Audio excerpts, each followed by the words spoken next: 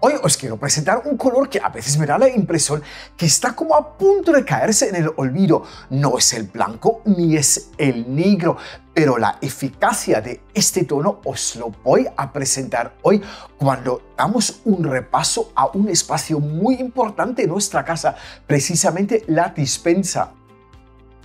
Hola, buenas días a todos. Hoy os quiero hablar de la importancia del diseño de la dispensa y precisamente observamos el color gris para dispensas, que son espacios más bien funcionales.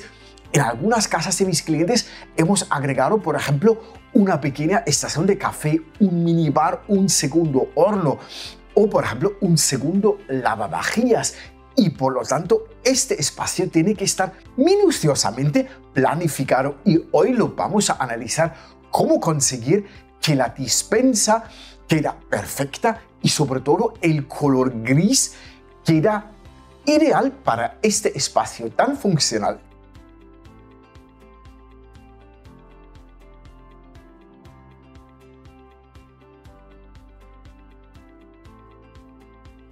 Espacios como por ejemplo la cocina o el baño deben de ser lugares muy bien planificados porque precisamente en la cocina nos tiene que caber absolutamente de todo. No es un espacio que puede ir creciendo o cambiando con el tiempo.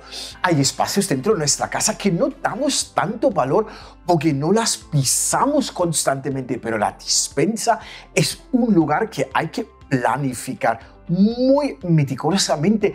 Precisamente hoy os quiero explicar la eficacia de la dispensa, cómo planificarlo y más a más en el color gris, que es un tono muy útil para cualquier espacio moderno. Por ejemplo, lo hemos visto en los salones. Aquí os dejo el link, pero a la vez es un tono ideal para combinar con pequeños accesorios como por ejemplo los tiradores una superficie de mármol en la dispensa.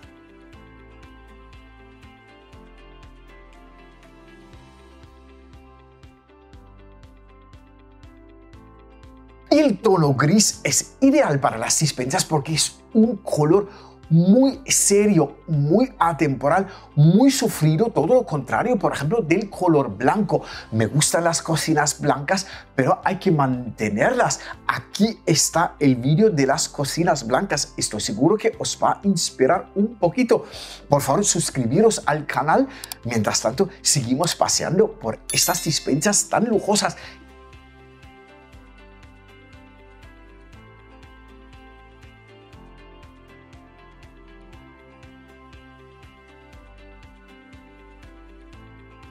si os habéis dado cuenta, la planificación es imprescindible. Tenemos que saber exactamente qué es lo que queremos ubicar en la dispensa.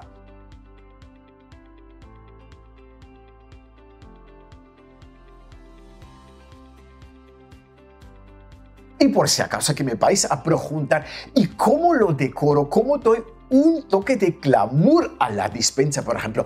Pues muy fácil, o con papel pintado o con las paredes forradas en azulejos de mármol, con tiradores en latón pulido, por ejemplo, con una superficie de mármol bien elegante, un tono que juega con el gris o con los azulejos también de diferentes colores o con unas jarras de cristal donde guardamos comida seca, por ejemplo. Opciones hay muchas.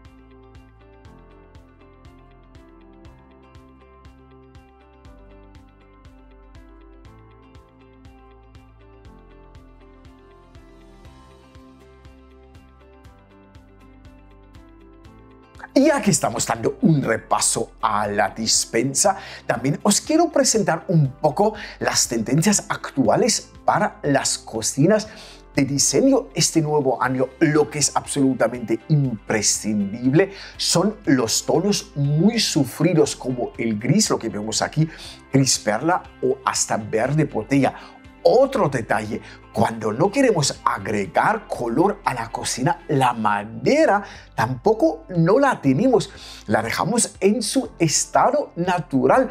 Aquí os dejo otro vídeo de cocinas que estoy seguro que os va a inspirar un poco, a lo mejor hacer un cambio en nuestra propia cocina.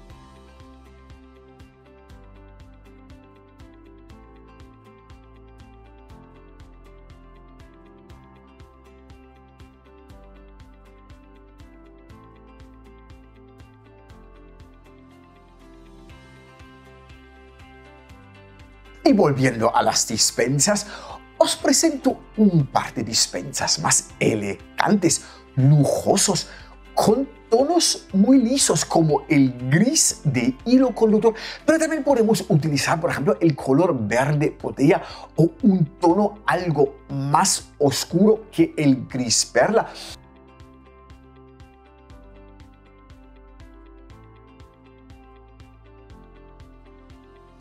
Por favor, dejadme un comentario y comentarme a ver qué os parecen estas dispensas. Seguro que os habéis dado cuenta que la podemos convertir en un espacio muy elegante y lujoso. Os doy las gracias de haber estado conmigo un ratito analizando cómo lograr una dispensa de lujo. Mientras tanto, tengo que seguir decorando casas para empresas inversores, porque hace un tiempo estoy convirtiendo pisos bancarios en hogares de lujo. Os doy las gracias, suscribiros por favor y espero y deseo volver a veros en el siguiente vídeo para seguir redecorando el planeta.